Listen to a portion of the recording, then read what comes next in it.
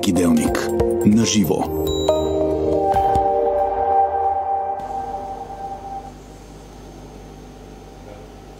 Добро утро, Северозапад продължава. Слушате ни също и по Хит Радио Гама. Ние продължаваме с следващата ни тема.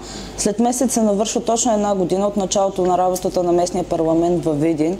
А това налага и въпроса как всъщност работи този парламент. За коментар по този и други актуални теми сме поканили общинския съветник от ДПС и юрист господин Красимир Асенов. Добро утро, господин Асенов. Добро утро на слушателите и разбира се и на зрителите на вашата медия. Нека да започнем. Как работи този общински съвет и къде е ДПС в него? Общинския съвет, както знаете, е ситуиран от 33 общински съветници, за разлика от предходния с оглед това, че падна границата съобразно броя на настанението в Закона за местната власт и местна администрация – ако трябва някаква обща оценка се даде с оглед вече изминалата една година от мандата,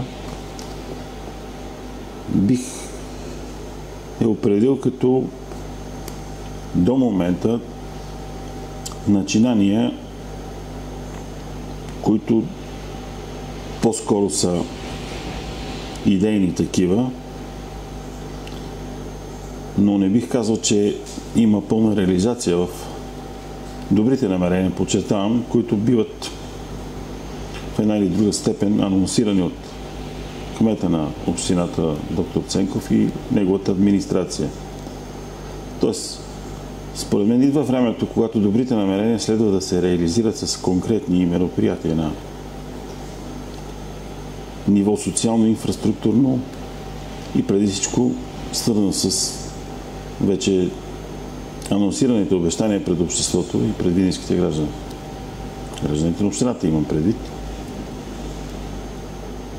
Не може да не се отчитат определени добри действия, които са свързани преди всичко с, според мен, с почистването, това е видно, на града. Декорацията на части от а, участъците о, около централна и входните артерии към град Видин, свързани с храсти и трева, това не може да не се отчете, защото е правилно. Но в никакъв случай не мога да кажа, че очакванията на гражданите са задоволени на, на този етап.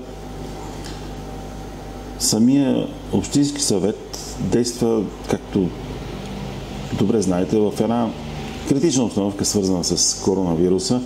И ако трябва да бъдем точни, това в известна степен наруши ритъма.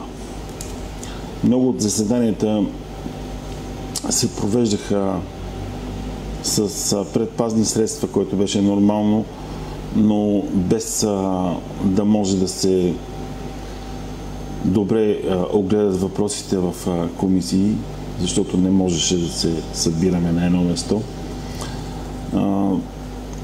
Не беше равномерно насрочването на заседанията, именно заради ситуацията.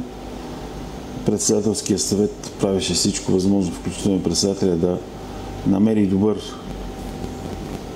такъв а, а, добър, а, би казал, баланс за да е възможно от една страна да не се прекъсва работата на Общинския съвет, а от друга да се спазват тези мерки. В известна степен това доведе до известно изнервяне на някои от колегите или от групите.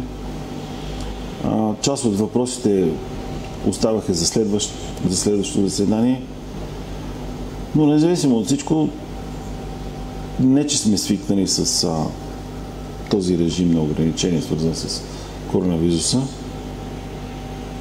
Но така или иначе, смятам, че в последните два месеца започваме да влизаме в нормално русло.